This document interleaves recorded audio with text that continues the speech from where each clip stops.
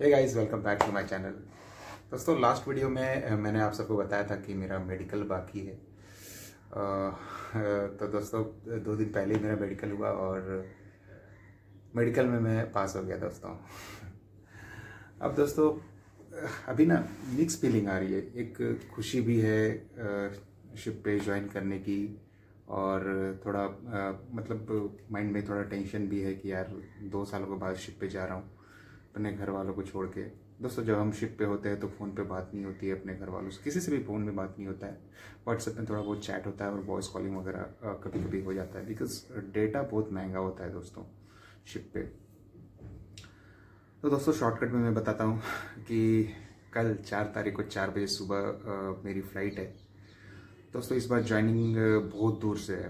Brazil से है। Brazil में एक Port Grande, sorry, Rio Grande बोल के एक पोर्ट है। वहीं से मेरी ज्वाइनिंग है। और दोस्तों, काफ़ी हेक्टिक स्केड्यूल होने वाला है मेरा कल।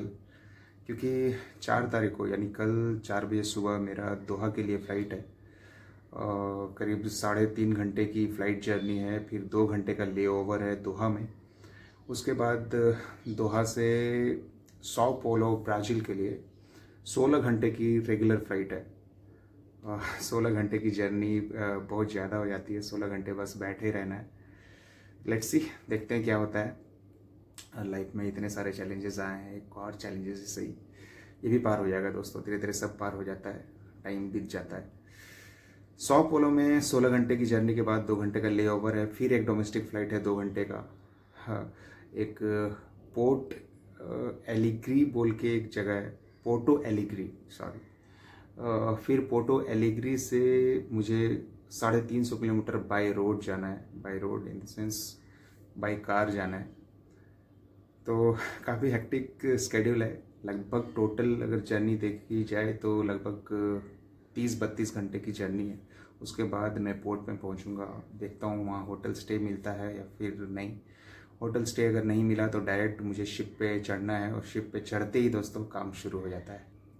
तो दोस्तों यही है अभी तक का अपडेट और ब्राज़ील जाने के बाद वहाँ पे नेटवर्क इशू होगा। आई I मीन mean, मुझे वो डेटा नहीं मिल पाएगा।